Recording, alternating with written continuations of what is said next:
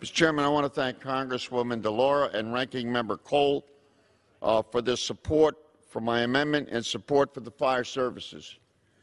I rise as the proud co-chair of the Congressional Fire Service Caucus to be on the front lines fighting for the brave men and women who put their lives on the line every day. We know that firefighters are routinely exposed to a variety of carcinogens in chaotic and uncontrolled environments, but we do not have a good sense of the full impacts of their exposure.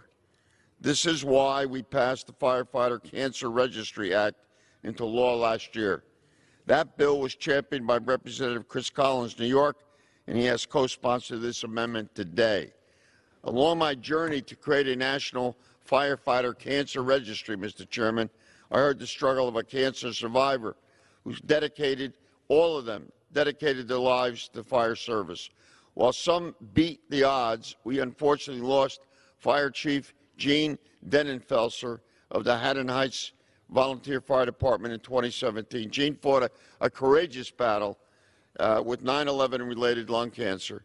To honor him and all those brothers and sisters struggling, we fought to get this bill into law. This bill directed the Centers for Disease Control to develop a specialized cancer registry for firefighters to prevent, provide science and medical professionals data to better understand cancer trends among our firefighters.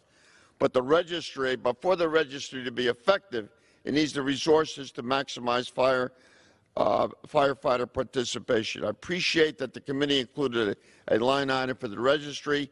This amendment merely ensures the firefighter cancer registry is fully funded. The registry will help us improve our knowledge of cancer incidents and firefighters. Mr. Mr. Uh, uh, Mr. Chairman, I ask for unanimous consent to submit for the record a letter from 11 fire services organizations, including the International Association of Firefighters, in support of this amendment.